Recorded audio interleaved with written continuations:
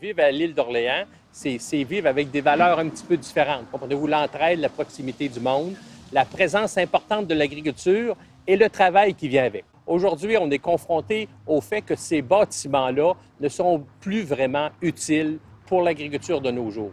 Donc, la MRC s'intéresse à un projet de, de mise en valeur de quelques-uns de ces bâtiments-là pour qu'il reste une trace.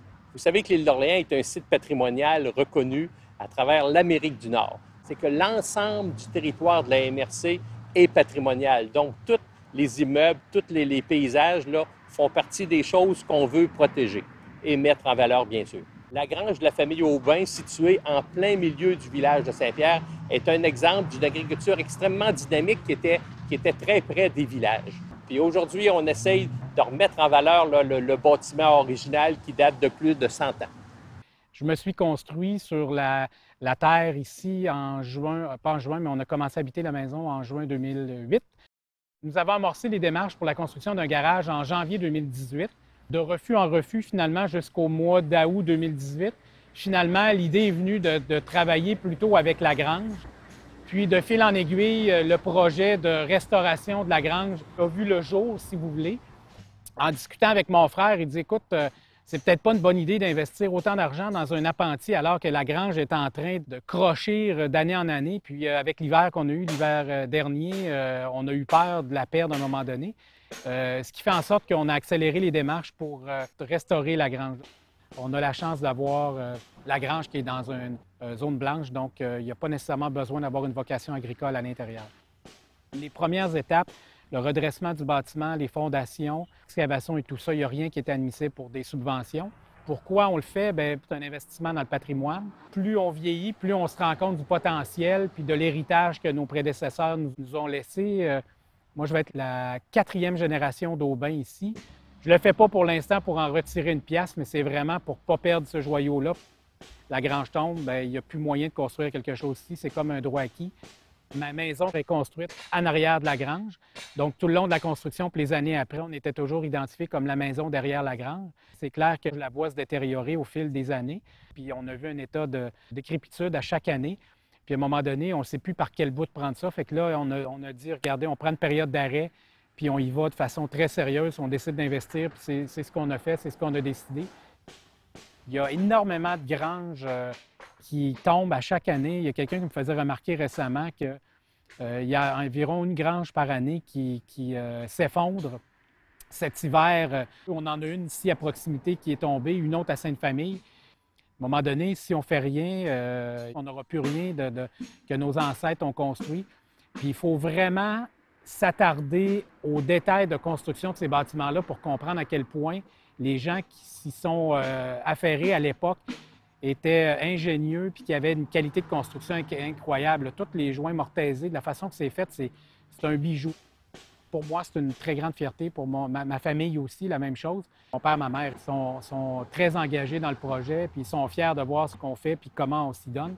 Je pense que ce qui va faire le succès du projet, c'est que tout le monde ensemble qui vient travailler ici, puis c'est un peu comme ça que j'ai choisi les entrepreneurs, c'est des gens qui y croient. Puis, dernier point peut-être à, mentionner, dans toute la période où euh, on a euh, fait les travaux jusqu'à maintenant, la quantité de voitures qui sont arrêtées, poser des questions, prendre des photos sur euh, la page Facebook de la communauté insulaire Île d'Orléans, sur le, site patrimoine aussi, les, éloges, les gens qui passent des commentaires, qui nous posent des questions. Les gens sont très curieux, puis je pense que les insulaires sont bien contents aussi qu'on s'investisse puis qu'on donne un peu d'amour à nos bâtiments. Ben, c'est ça. Moi, je suis un La Chance. Euh, on est des familles de l'île d'Orléans. Je suis un peu, juste un peu plus loin ici, à Saint-Pierre. Puis, euh, j'habite la maison familiale des La Chance. C'est une des, comme dix plus vieilles maisons de l'île, J'ai été élevé, comme je vous disais, sur la ferme, là. Mon grand-père, mes oncles avaient des pêches anguilles, euh, la cabane à sucre, les, les vaches et tout et tout, là. Ma spécialité, c'est pas mal de travailler là-dedans dans les vieilles maisons ancestrales. Les granges, on en rénove beaucoup. C'est comme des choses qu'il n'y a pas beaucoup de monde qui sont aptes à travailler là-dedans. Là. Ben, c'est ça, c'est qu'il y a une compagnie qui est venue pour la lever, qui a fait du levage. Nous, on est, intervenu plus au moment lorsqu'ils l'ont redescendu. C'était assez compliqué là, de pouvoir la redescendre là, euh, de la remettre pour que tout adonne, tout arrive. Euh, mais en fin de compte, c'est ça, ça a bien été. C'est sûr qu'on a des. Euh, les défis sont plus élevés. Il faut toujours être comme constamment en train de penser à ce qui va venir parce que c'est pas comme faire du neuf qui est plus machinal, qu'on se pose pas de questions, puis c'est toujours la même chose, puis euh, on avance, on prend de la vitesse. Là-dedans, ben, c'est plus de, plus de tracas, faut tout le temps tricher là, entre, entre deux, deux, méthodes parce qu'on ne peut pas le mettre droite-droite, mais on essaye de faire du mieux. C'est sûr qu'on ne peut pas arriver toujours avec euh, la perfection. Ben, c'est sûr que des fois, il faut prévoir des imprévus parce qu'au euh, fur et à mesure qu'on avance dans les travaux, ben, on trouve des petites surprises, là, ça et là. Euh. Ce qu'on voit souvent, c'est qu'on va faire des travaux, puis le monde n'a pas comme assez pensé d'avance à leurs travaux, puis là, on est comme en attente parce qu'ils ont comme de la misère avec leur prise de décision au fur et à mesure que les travaux avancent. À force d'en faire puis d'en voir, euh, on vient plus familier avec euh, ben, les techniques, euh, savoir les matériaux, comment c'était fait d'époque, d'être plus au courant de comment c'était. Parce qu'il y, a des choses de différentes époques qui sont pas pareilles, de, dépendant de l'âge de la maison et tout. C'est comme de s'adapter à, à toutes ces différences d'âge-là. Ben, ça me donne une, comme une fierté de de dire qu'on. Les, les, maisons continuent à survivre puis à passer les années. Ah, ben, la, majorité aurait dit qu'il n'y avait rien à récupérer là-dessus. Parce que souvent, je vois sur des, euh, voir des, jobs comme ça. Puis c'est du monde qui sont habitués dans le vieux, mais peut-être pas autant, mais souvent ils disent ben c'est mieux de la tirer à terre d'en faire un autre. Là. Mais en fin de compte, à moins qu'il y ait beaucoup de pourriture ou de champignons, là, euh, la majorité du temps, c'est récupérable.